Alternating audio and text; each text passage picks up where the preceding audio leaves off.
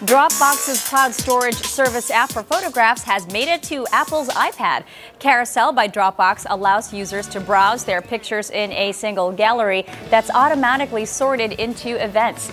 Carousel also lets viewers view their images even when they are offline without taking up too much space in their phones. The app is available for free on the App Store.